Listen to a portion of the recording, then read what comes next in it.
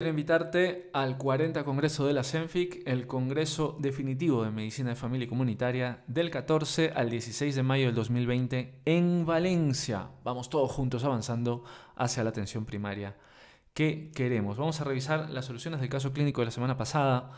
Habríamos hablado de un paciente de 40 años, un hombre joven sin factores de riesgo, no fumador, que tenía dolor torácico de más o menos un día de evolución. Me duele desde ayer, en la noche es peor, etcétera y ya nos llama la atención alguien joven, sin factores de riesgo y sin fumar, que es lo mismo, un factor de riesgo no modificable, que tiene dolor torácico, ¿no?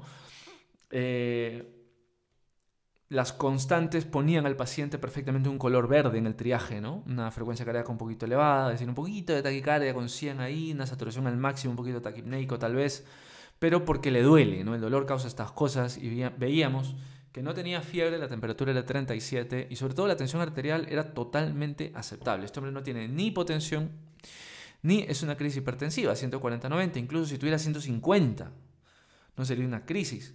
Dice que empezaba por la tarde, que estaba peor, que había esperado en casa, pero la mañana siguiente decía que ya le costaba trabajo respirar, se ha asustado y ha venido urgencias. No porque el paciente que se ha asustado, vamos a decir que es alguien con una crisis de ansiedad o algo así, eso es lo último que vamos a pensar y es totalmente aceptable, totalmente lógico que el paciente se asuste, sobre todo si es una persona sana y de repente dice que le duele el pecho. Es que es totalmente aceptable que el paciente esté preocupado. Entonces, al preguntarle por el dolor, decía que el dolor era continuo, me duele ahí todo el rato, me duele, me duele, me duele. Y después decía que parecía que a veces le dolía más tumbado y era como si le clavaban algo en el pecho. O sea, me duele ahí y es como si me clavaran algo en el pecho. El residente muy perspicazmente auscultaba al paciente y le decía, un momentito, por favor, deja de respirar. Y ponía el fonendo y escuchaba un ruido que describe como si fuera un roncus, pero que va al ritmo de los latidos. Y lo que está ocurriendo aquí, primero, que el patrón del dolor nos tiene que hacer pensar que esto, eh, que la probabilidad de que esto sea origen coronario es muy baja, muy, muy baja, ¿no? Y ojo que no estoy diciendo, esto no es coronario, estoy diciendo que la probabilidad de que sea coronario es muy baja, ¿no? Es un hombre de 40 años, que tiene ningún factor de riesgo cardiovascular, o sea, no tiene hipertensión, no tiene diabetes, no tiene sobrepeso, es un hombre activo y no fuma, ¿no? Entonces, viene con dolor torácico y luego describe muy claramente que es continuo, no es a rachas, que no es opresivo, que es como si le clavaran algo en el pecho y que le duele dependiendo del, del, tipo de posición que lleva. O sea, el paciente dice que tumbado, acostado, le duele más, que se sienta y parece que estuviera mejor. Y toda esa constelación de cosas que está describiendo el paciente, junto con un ruido que va con los latidos, que dice que es como un roncus que va con los latidos, esa es la descripción típica de un roce pericárdico. Un roce pericárdico es un ruido que parece un roncus que va con los latidos. De hecho, cuando sospechamos de enfermedad pericárdica, em, es, es, útil decirle al paciente que no respire y escuchar si es que hay un soplo. Y cuando ese soplo en realidad parece un roncus, es un roncus con ritmo podemos permitirnos pensar en el contexto un paciente con un dolor continuo tipo eh, pleurítico, ¿no? a punta de dedo, como si me clavaran algo, pues a lo mejor es que estamos frente a un roce pericárdico. Entonces ya estamos em, empezando a pensar, este paciente viene con dolor torácico, con el, con el movimiento tumbado más, parece que hay un roce, esto no es coronario, baja probabilidad que sea coronario, parece que fuera pericárdico, ¿no? Ya estamos pensando y, pedimos el electro, porque el electro nos puede dar pistas muy importantes, y veíamos justamente en las derivaciones de las extremidades, si trazamos una línea sobre la línea eléctrica, veíamos que había un descenso del PR. Mucha gente ha hecho esto muy, muy correctamente, un descenso PR. La depresión PR en, la cara inferior, en las derivaciones de las extremidades, 1, 2, 3 sobre todo, AVL, eh, hace pensar que es, el signo más específico, más específico en el inicio de eh, una enfermedad pericárdica. ¿no?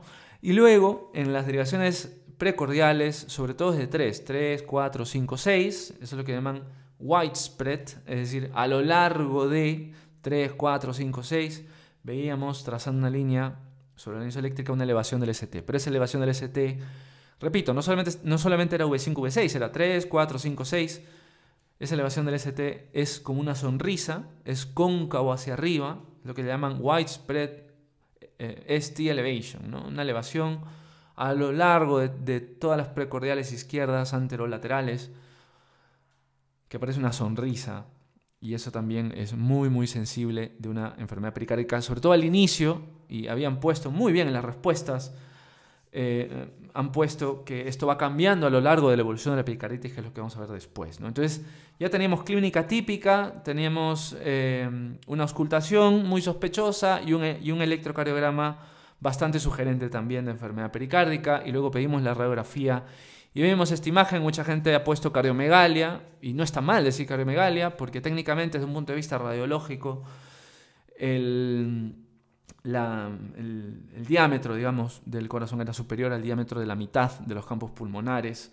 Pero en realidad esta configuración de cantimplora, de botella de agua eh, o de tienda de campaña, es un derrame. ¿no? Eso es un derrame pericárdico que puede ser mayor o menor eh, y puede ser sintomático o no. Evidentemente, mientras mayor, más sintomático, mayor alteraciones hemodinámicas. Y ojo, la sintomatología no se da porque hay menos pulmón, no se da porque haya telectasia necesariamente, se da porque el llenado, el llenado ventricular es peor y entonces hay alteraciones hemodinámicas que alteran el proceso ventilatorio y la oxigenación al final. ¿no? Entonces el paciente si en este caso no hay baja saturación, el paciente dice que me cuesta respirar, pero a lo mejor era por el dolor, pero satura bien. Y, la tensión está bien, es decir, alteraciones hemodinámicas objetivas no tenemos, aunque parece que tuviera un derrame ahí gordito, ¿no? Entonces dice, eh, teníamos esta diapositiva que si en este punto teníamos que tener un diagnóstico sospecha, lo siguiente será obtener pruebas y tal. Entonces nos íbamos con las preguntas y esto efectivamente, para que la gente lo pensó, totalmente cierto, es una pericarditis aguda, ¿no? Entonces vamos a tratar de ir respondiendo las preguntas que dejamos la semana pasada con la imagen. Cuatro criterios importantes, que esto es en, la guía europea del 2015 de pericarditis, están muy claramente puestos los, los criterios. Número uno, un dolor sospechoso, y lo dicen como dolor típico, pero dolor típico de pericarditis, ¿no? Dolor torácico típico, que es agudo, pleurítico, eh, parece que sentado o inclinado hacia adelante mejora y está peor tumbado, ¿no? El dolor no es opresivo, no viene en rachas, es continuo, pleurítico, a punta de dedo. El paciente suele decir es como si me clavaran algo aquí y se señala con un dedo el tórax. Esto es distinto totalmente al dolor coronario, el paciente dice parece que me aprieta algo, diferente. Número 2, un roce pericárdico, un sonido que nos haga que sea sospechoso de roce pericárdico. Número 3, cambios electrocardiográficos sospechosos, y era lo que decíamos, la depresión PR, la, elevación ST con concavidad hacia arriba, y eh, a lo largo de todas las precordiales. Y luego, número 4, el que hay un derrame pericárdico, ya sea nuevo o un empeoramiento de un derrame peor. ¿no? Lo habitual era que sea idiopático, muchas veces no sabemos por qué, eh, la mayoría, cuando sabemos la causa, la mayoría suelen ser asociados a una infección viral. Muchas, veces el paciente dice, hace un mes, hace tres semanas tuve un catarro, tuve un proceso diarreico, estuve, estuve mejor, pero ahora me duele el pecho, ¿no?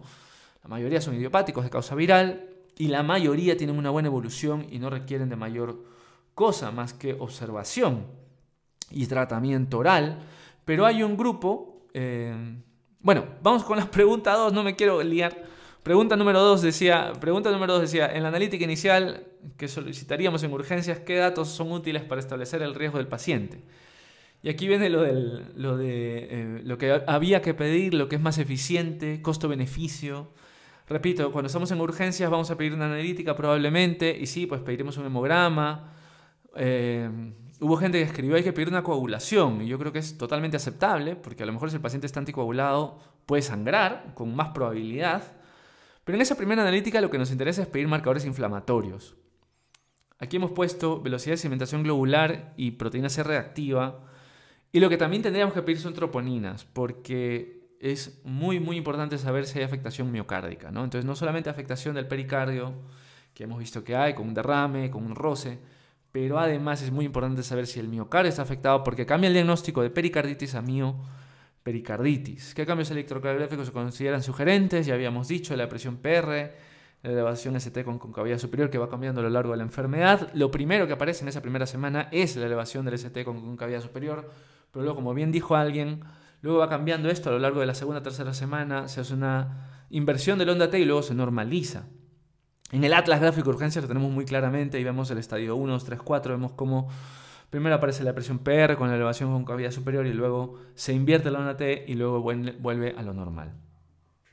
Y luego lo que quería llegar a su momento, la pregunta 4 era, si estoy en el centro de salud, ¿qué tipo de paciente debe ser trasladado en un SAMU? La pregunta puede estar bien o mal hecha o puede hacerse mejor, pero lo único que tratamos de decir aquí es qué paciente necesita un traslado medicalizado, qué paciente tiene que quedarse en observación, qué paciente hay que verlo con mucho cuidado, porque, la evolución puede ser muy mala y muy rápido. Y hay un grupo de pacientes que tiene alto riesgo de enfermedad grave que tiene que quedarse ingresado, por lo menos en observación. Fiebre muy muy alta, de más de 38, un gran derrame. Obviamente el gran derrame decíamos que puede producir alteraciones hemodinámicas, alteraciones del llenado o un taponamiento cardíaco. ¿no? Esto cómo sabemos que el paciente lo tiene, porque tiene disnea o inestabilidad hemodinámica. No hay buena circulación o síntomas de ese proceso hemodinámico. ¿no? El paciente dice, no puedo respirar bien, satura bajo, empiezas a encharcarse, empezamos a escuchar crepitantes y luego obviamente pulsos débiles, baja, baja tensión, menos de 100 sistólica. Y cuando hay un taponamiento hay una parada cardíaca de origen mecánico, ese paciente no va a salir de la parada, sino destaponamos, eh, por decirlo así, el, corazón.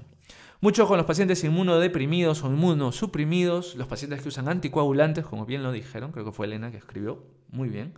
Traumas graves, la pericarditis secundaria a un trauma torácico es de observar, ¿no? Es de observar, porque puede haber daño, eh, puede, puede haber daño miocárdico también, hay daño torácico, y luego eh, daño de, costillas, ¿no? Y luego, evidentemente, la elevación de las troponinas. Esos pacientes a veces suelen pasar, dependiendo de los protocolos que manejan en el hospital, a veces pasan directo a cuidados intensivos, ¿no? Una miopericarditis.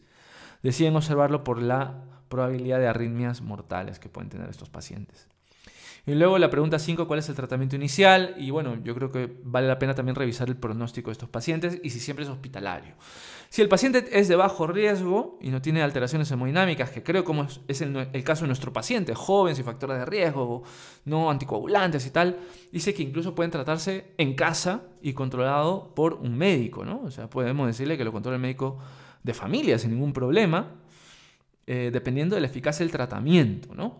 Y luego que el tratamiento inicial suele ser con antiinflamatorios y medicamentos que eviten la organización de una inflamación, que es la colchicina, ¿no? Es un medicamento que se usa muy poco, mucha gente lo utiliza para las artritis secundarias a cristales de ácido úrico.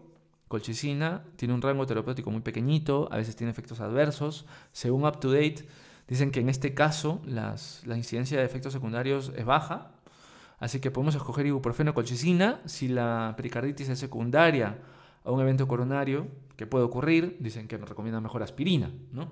Entonces podemos usar simple ibuprofeno, 800 miligramos cada 8 horas, o 600 cada 6, por ejemplo, y colchicina, combinado. Recomendación fuerte, dicen, grado, eh, nivel de evidencia grado 1A, ¿no? Y luego, ¿cuánto tiempo? ¿Cuánto tiempo? Dos, no hay evidencia clara de cuánto tiempo, pero uno puede ser según, los, según la duración de los síntomas, es decir, una vez que el paciente se encuentra mejor, lo podemos quitar y luego la normalización de la proteína C reactiva, pero esto depende de una analítica. ¿no? El, flujo, el diagrama de flujo del tratamiento está bastante claro en UpToDate, lo podemos observar. Recordemos que el Ministerio de Sanidad nos paga a todos UpToDate acceso libre en el hospital, eh, en el centro de salud, incluso lo podemos, podemos acceder a ello desde casa. Está bastante claro. Si el paciente no tiene riesgo, AINE, colchicina y, esto es lo que me olvidé de decir, muy importante, Reposo, reposo en casa, que no haga ejercicio, sobre todo intenso, reposo en casa y si responde podemos quitar la medicación. La imagen está en el blog, en la chuleta.com, pueden pasarse por ahí, pero también la voy a dejar aquí en eh, eh, docencia Rafa eh, en Rafa La. Podemos dejarlo, vamos a dejar la ilustración para que puedan acceder a ella. Con un clic se hace más grande y la pueden descargar para poder tener en su dispositivo móvil. No se olviden del 40 Congreso de la CENFIC del 14 al 16 de mayo del 2020 en Valencia. Vamos todos juntos avanzando hacia la atención primaria que queremos. Nos vemos en una próxima oportunidad. Chao.